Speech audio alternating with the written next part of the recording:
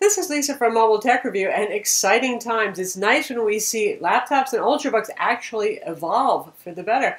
This is the 2015 Dell XPS 13 and some things we know and love about the XPS 13 are still here like the aluminum lid, the carbon fiber interior, but the size of this, this is about the size of an Inspiron 11. You might almost mistake it at first, but it's a 13.3 inch laptop. Fifth generation Intel Broadwell CPUs, full ULV CPUs in here, none of that Core M stuff. You have good performance, a variety of SSD drives, a couple of different resolutions. We're going to check it out now. So here it is, the latest generation of the Dell XPS 13 Ultrabook.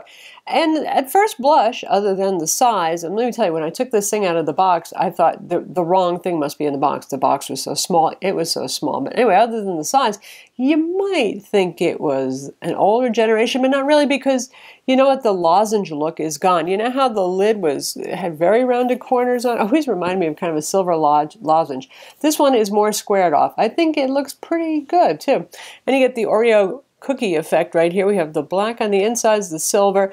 No more carbon fiber on the bottom. Dell's going with the metal finish over here. We still have the usual service tag door. Now spring-loaded and easy to open, not something that you have to fight with. And for those of you who are not into Dells and don't know what that is, that's where you're going to find your service tag, serial number, that sort of thing. Obvious vents over here.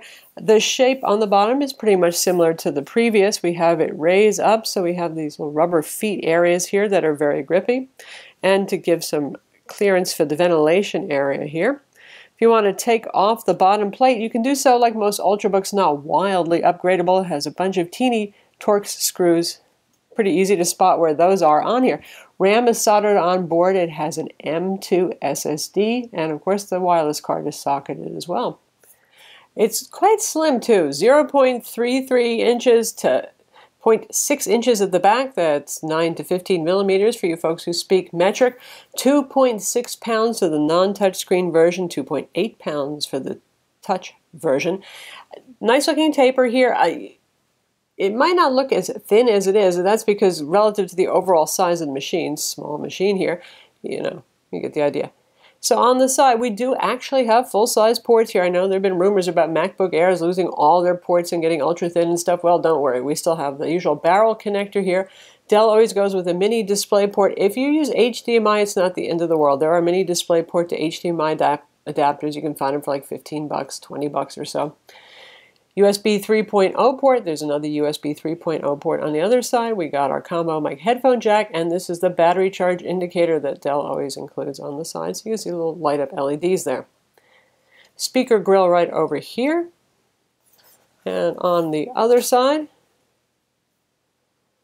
we have a SD card slot. The card will stick out about one third of the way for those of you who carry your laptop around with a card inserted in, in a bag. There's the other USB 3.0 port, and there's a security lock slot.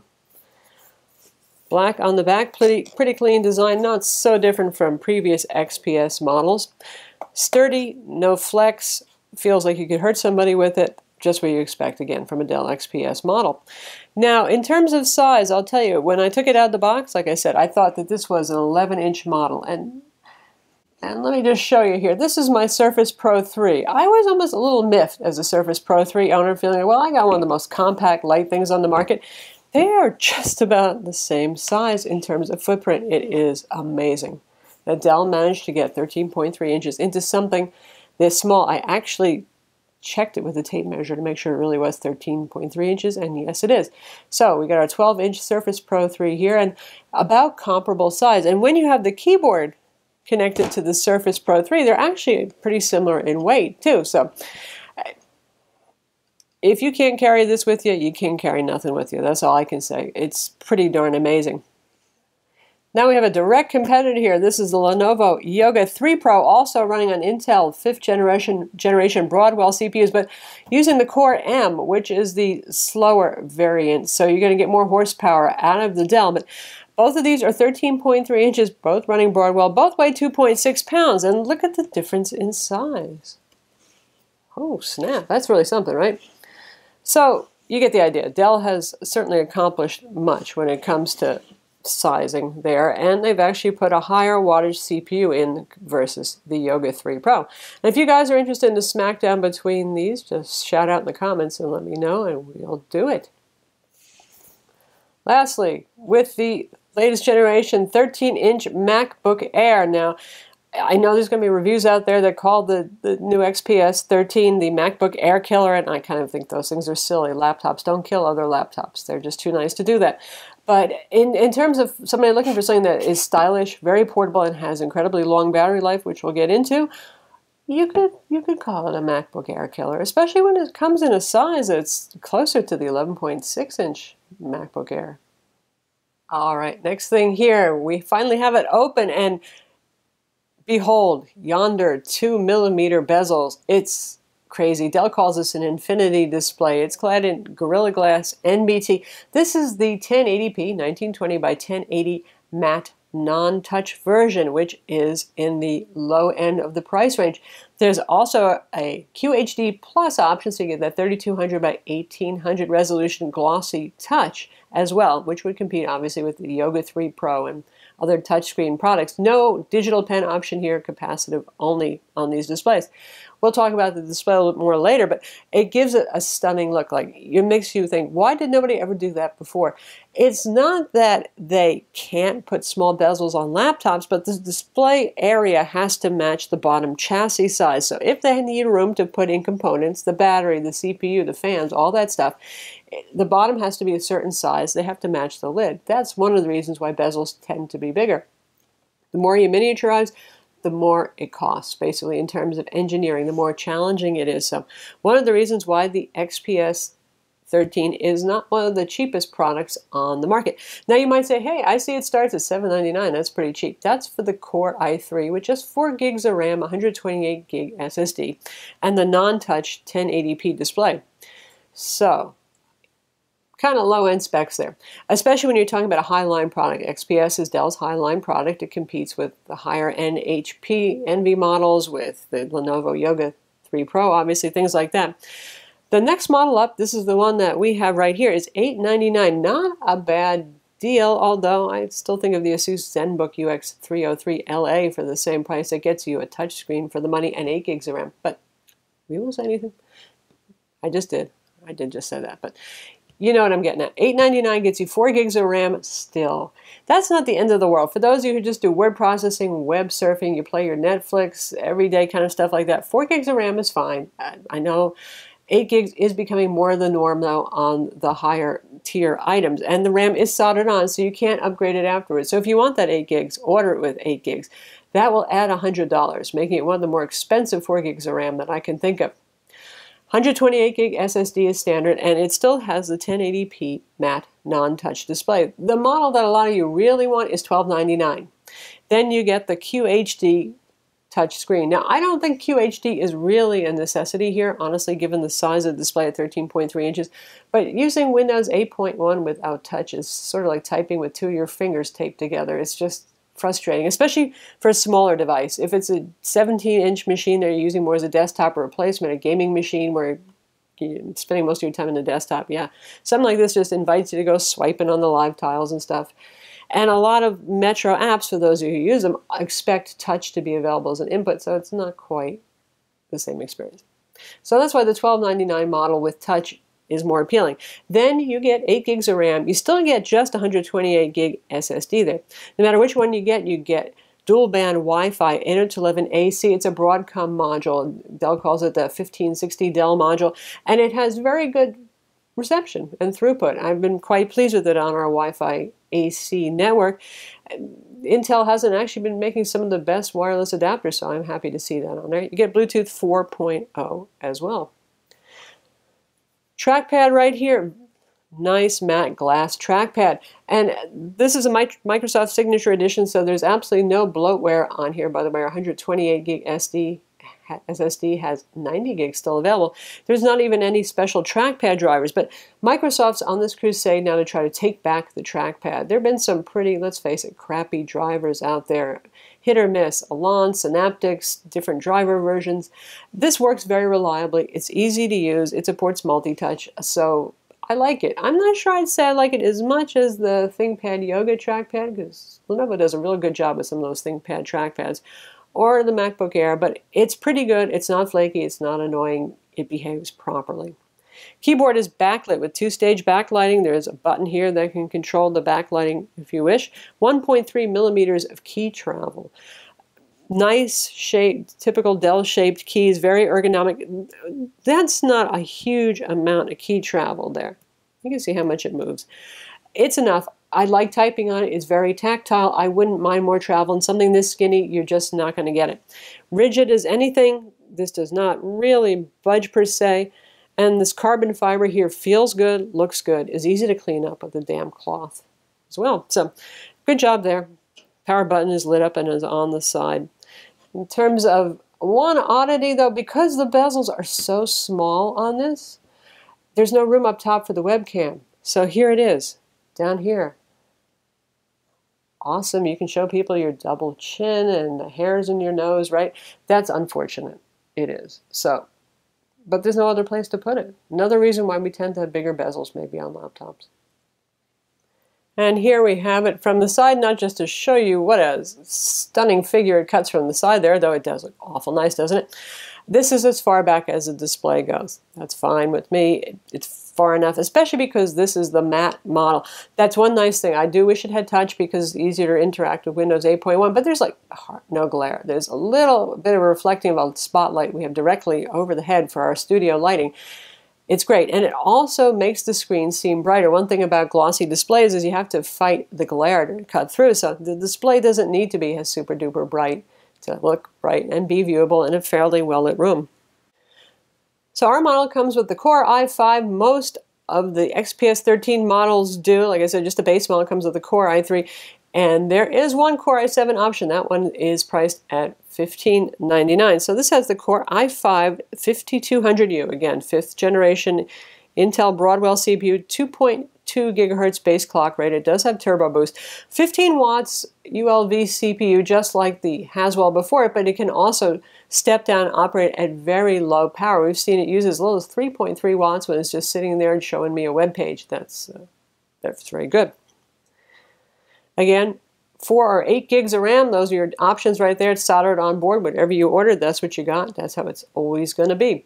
128 gig SSD on most configurations. You can get a 256 for only $100 more. That's not a bad deal and there is a 512 gig option. Since it's an M2, you can source one and replace it yourself if you wish to do so later on. In terms of performance, well, it performs much like Intel 4th generation Haswell CPUs. No surprise there. Intel didn't claim that there was going to be any super duper performance change here. Really, it's about using less power, allowing manufacturers to make smaller designs because you don't need as much room for cooling and ventilation, and you don't have to use bigger batteries. In fact, so this has a 52 watt hour battery in there, nothing bigger than we saw in previous XPSs, but lasts longer. And we'll talk about that too. So PC Mark 7 scored 49 52. PC Mark 8 Home 2841. 3D Mark 11 P 1101. That's the performance mode 720p testing. This has Intel HD 5500 integrated graphics. By the way, no dedicated option on something this small. W Prime, a computed pi at 19.81 seconds, about par for the course. Geekbench 3, 2810, single core, multi core 5515. So good scores there, doing better than the Yoga 3 Pro. So let's talk about the display a little bit. I mean, obviously, even here on film, this looks quite nice, and it does once again help that it is matte, so it's not reflecting anything else. Here we have our desktop view right there. I've got it at 125% scaling. I can tolerate things pretty small. You might want to go with the default 150% scaling. Sharp IGZO panel, whether you go with the 1080p matte non-touch or with a QHD plus touch screen. Either way, you're getting Sharp IGZO, which is a very power frugal display technology. It also has very good color gamut, nice contrast. It's a pretty looking display. We've seen this used in a couple of other laptops before.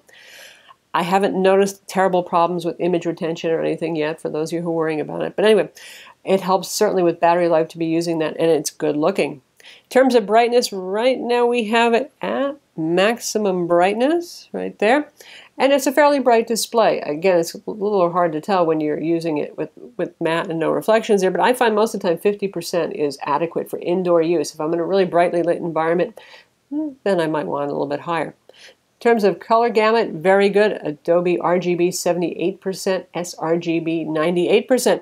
Uh, color tuning out of the box was the typical kind of a little too cool, which makes things look brighter. But people are used to that these days. Every laptop comes calibrated cool. We actually use our Spyder Pro colorimeter on here to calibrate the display and do the measurements. And right now it is calibrated, so it's a bit warmer, and the reds are a little bit more accented, as they well actually should be. Web page text is easy, sharp, and clear to see right here, and pinch zooming on the trackpad works really well, which is great since, again, you can't touch the screen on this particular model. You could go with the QHD one and touch to your heart's content, but looks lovely. So let's see how it does with video and watch one of our video reviews. Then we'll watch the Ghost Pro video, another nice matte screen model, only this is a gaming laptop. Two-fingered scrolling, as you can see, works just fine as well.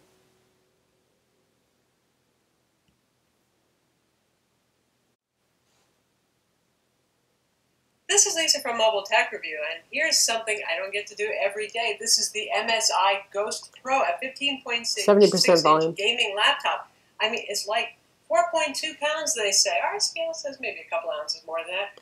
So it sounds good, right? It certainly looks lovely there. And again, it's like having a big screen TV with this, this little barely there kind of bezel. So it's a very nice effect. And even if you get the higher resolution touch version, you get a teeny bezel too. So you know where you're going to win with that one.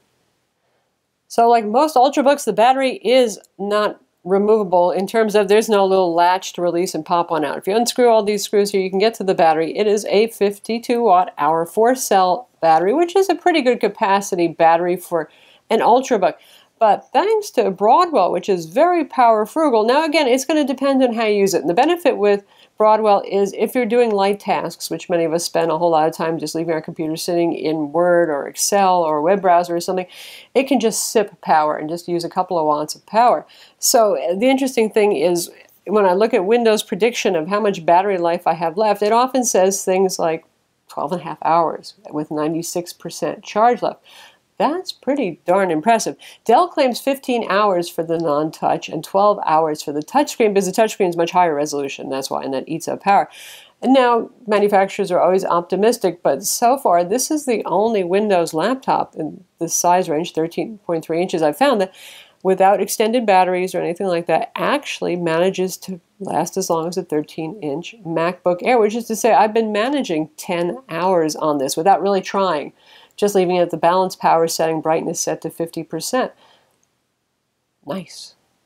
Really nice. Something this small, this easy to take anywhere, this light, with that kind of battery power, good times. And just think, someday we'll get the Windows 10 update for this absolutely free, and it'll be really interesting to see what it's like to use this then.